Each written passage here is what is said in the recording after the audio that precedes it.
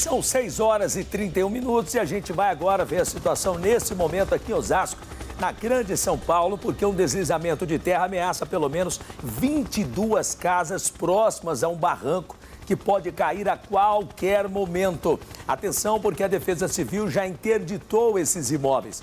O meu querido amigo, o comandante Hamilton, sobrevoa o local nesse exato momento. Vocês vão acompanhando agora, 6 horas e 31 minutos. Comandante Hamilton, bom dia, bem-vindo ao nosso programa. Nós temos, quando temos assim em São Paulo, principalmente na época do verão, nós temos fortes chuvas, temporais que vão caindo a todo momento. Aqui em Osasco tem um problema seríssimo em algumas regiões, porque ocorre muito essa questão de deslizamento de terra. E nas imagens que nós estamos mostrando agora, isso daí pegou os moradores dessa região de surpresa. E nós estamos vendo agora que casas próximas aí a esse desmoronamento de terra que nós estamos mostrando ao vivo aí com o Danilão nas imagens, as pessoas precisam sair daquele, das casas o mais rápido possível. Acredito que tudo isso aí já tenha sido interditado pela Defesa Civil, né, comandante Hamilton? Bom dia, meu irmão. Bom dia, Marcão. Bom dia a todos. Estamos realmente, já foi interditado, viu, Marcão? Aqui é a rua Castanha do Pará. O Danilo mostra para nós, tem uns cones aqui já fechando a rua. Agora, o grande problema é que tem várias casas, muitos pontos aqui, lembrando que muito, nesse momento, de corredor, que área central, em, em direção ao mar. Então, qual que é o problema disso? Esta água, hoje vai chover bastante, já começa a ventar agora, estamos sentindo o vento norte muito forte.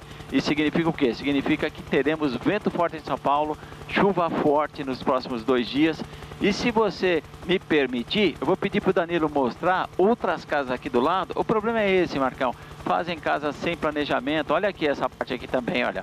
Se você der uma vista panorâmica aqui na região, não só aqui em Osasco, mas outros pontos de São Paulo, similares a esse, você vai ver que muita casa está em área de risco. Ou seja, com essa quantidade enorme de água, olha só, é, acaba não resistindo, não há planejamento. Muitas casas não foram feitas, projetadas por um engenheiro, um calculista.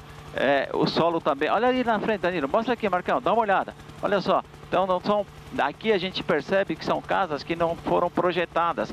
O solo, eles tiram também aquela capa protetora. Você vê que já raspa tudo, arranca toda a capa protetora, a água cai e vai infiltrando. Então isso realmente nos preocupa. Se você olhar aqui de cima, você fala, nossa, Deus é brasileiro, porque é impressionante a quantidade de casas que estão em área de risco, Marcão.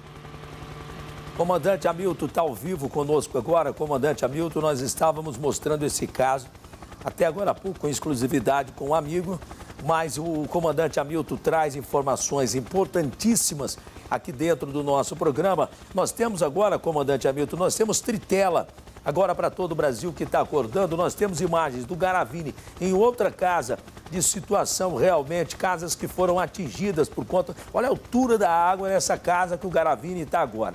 Nós temos imagens da noite de várias quedas de árvores e pontos de alagamentos em São Paulo, como nós temos também no canto direito do vídeo o comandante Hamilton, que está nesse local onde houve um desmoronamento. Ô, comandante, eu não sei se o senhor falou, mas se falou, eu, eu, eu, acabei não pegando aqui. Mas durante esse desmoronamento, aquelas casas que estavam ali embaixo, elas foram atingidas ou não chegaram a ser atingidas?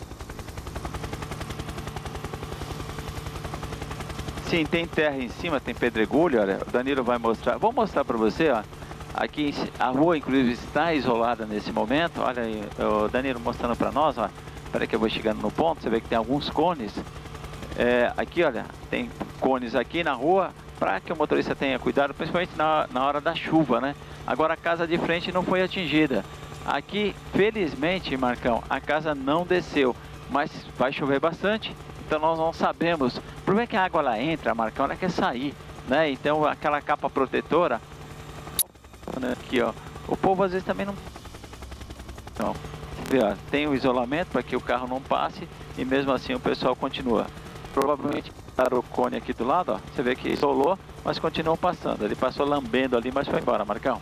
Eu estou tentando contato agora, se o senhor tiver, eu mandei um WhatsApp para ele aqui, eu vou ver se o prefeito Rogério Lins ou Mari entra ao vivo conosco agora para saber qual é o posicionamento no caso da, da prefeitura aqui de Osasco relacionada a esse desabamento que nós estamos mostrando agora, porque a Mari acabou de me dar uma notícia aqui importantíssima e uma notícia muito séria, que nós temos 50 pessoas desalojadas já nesse momento. Aí eu quero saber se essas pessoas desalojadas estão sendo, Mari, amparadas pelo poder público aqui de, de, de Osasco ou não estão sendo amparadas pelo poder público de Osasco. Acredito que o prefeito Rogério Lins deva ter apoiado já essas famílias, deva ter é, já dado toda a atenção especial aí para essas famílias.